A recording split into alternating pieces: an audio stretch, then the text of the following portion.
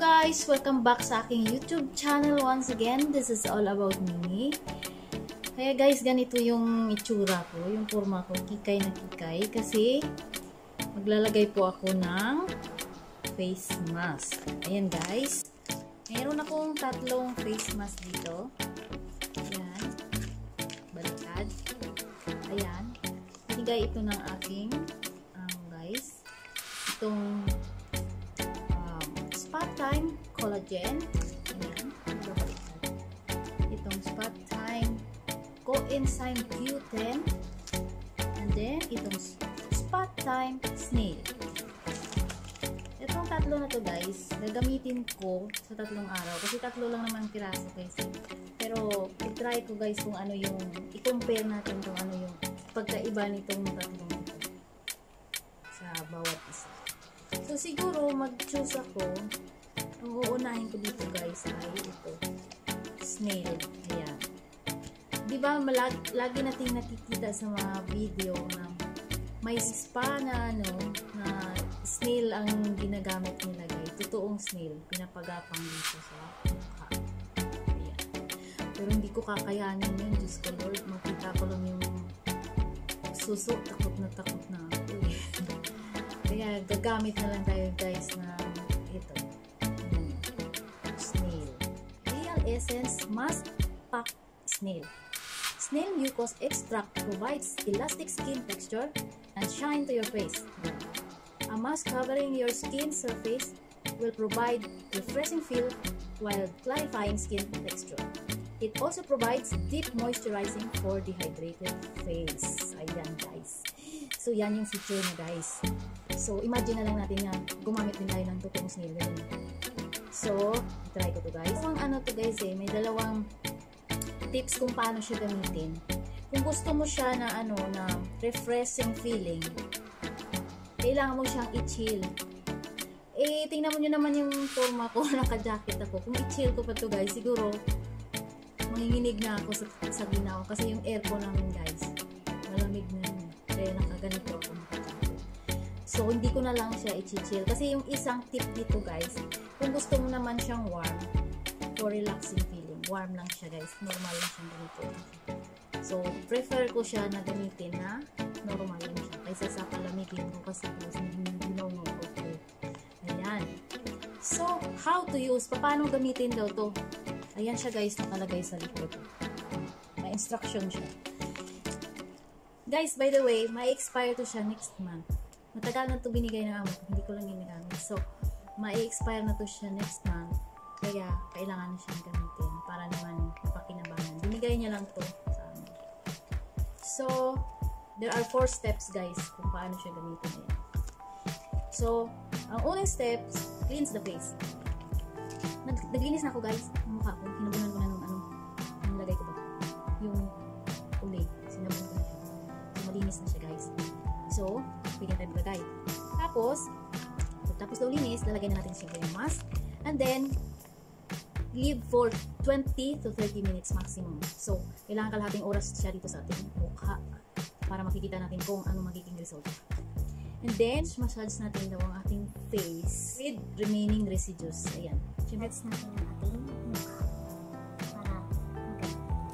Oh, ayan siya guys. So, try na natin guys. Yan. Actually, hindi talaga ako gumagamit ng mga ganito guys. So, first time ko magamit ng mask, face mask. Kaya, tara na! So, yan na guys! Start na tayo! Maglagay na natin. Ilagay natin dito. Okay. Ayan. Hmm. Lumabas yung katas.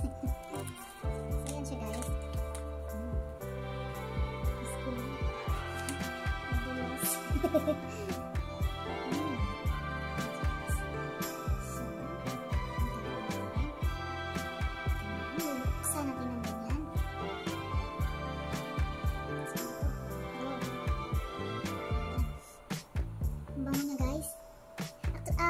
guys, ang itong ano na to, made in Korea. Ayan siya guys.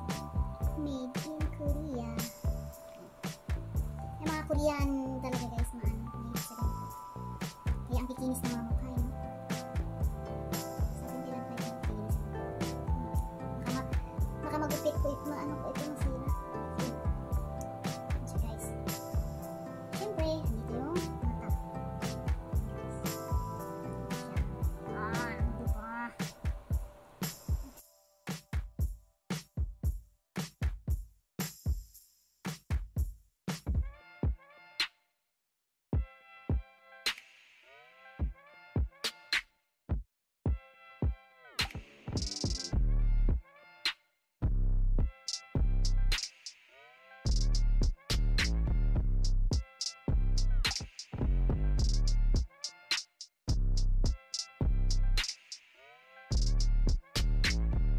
Ayan na guys, tinapos ko talaga yung 30 minutes. So, tingnan mo, natanggal na siya kasi hindi na siya moist. Na-absorb na lahat ng mukha ko. So, para kung ano, eh, ano, ah, gamit pang remaining residues, massage-massage daw natin dito sa mukha. Ganyan. Ganyan. Pero wala na talaga guys. Parang sinipsip na talaga ng mukha ko. So, medyo tuyo na siya. Yan, natatanggal ng guys. So, baka na-over ako ng oras. Kasi nakalagay doon 20 to 30 minutes. Pero talagang dito sa taas na mayroon siya pa. So, ibig sabihin, mayroon pang moisture or residues na naiwan dyan. So, kailangan daw natin i-massage-massage para mukha natin na. Yan. So, it's time to make tanggal-tanggal na guys. Yan. It's time to remove. So, natin guys. Hmm. Yan siya guys. Tara, napunit tuloy. Kasi yung hugis, oh, tingnan nyo yung hugis niya. Para pang mga matatabang mukha, di ba?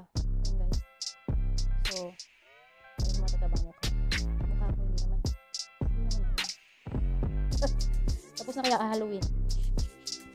Napunit siya guys. Nakasiya ka. Ayan. So, gagawin natin. Titik ko po ito. At ibabalik ito sa kanyang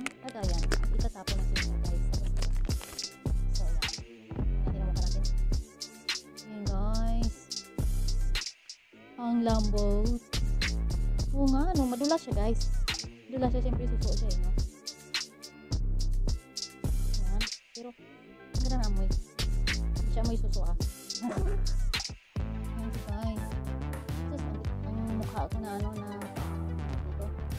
Maraming mapa. Nakatikim din ng ano tawag nilang spa. Guys, lambot ng promise. Pati kamay ko ng lambot. Hindi nga. Pati kamay ko ng lambot. Ito nga. Ang sarap niya. Gawin natin. Every night, ibang klase. Titingnan natin kung ano naman itong pakiramdam.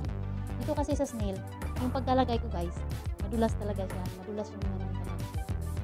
Tapos may tumutulog dito na Maganda talaga siya guys. In terms sa bango, sa, ay, in terms sa amoy, okay yung amoy niya. Tapos ano siya guys, yung pag nilagay mo siya, dapat total talaga ng time na ilalagay mo is 20 minutes. Okay pa siya, mayroon pa siyang. Kasi tinapos ko talaga yung ano yung 30 minutes. So, parang natanggal na dito, naubos yung na-absorb yung naubos na niya absorb yung moisture. Dito na lang natira yung dumidikit. So, ginawa ko, inan para maubos din siya. Ayan. Di ba guys, ang aliwalas. Sarap sa pakiramdam. So, yan. So, abangan nyo sa abangan nyo ang susunod natin. Okay guys? Yan, i-compare natin itong snail sa ito pang dalawang natitira dito. Mas maganda sana kung 7 days siya guys. Kaya lang syempre, bigay lang to. So, tatlong piraso. Wait, ita try. So, yan. Next day, ito na naman gagawin. Okay? Yan guys. Bye for now.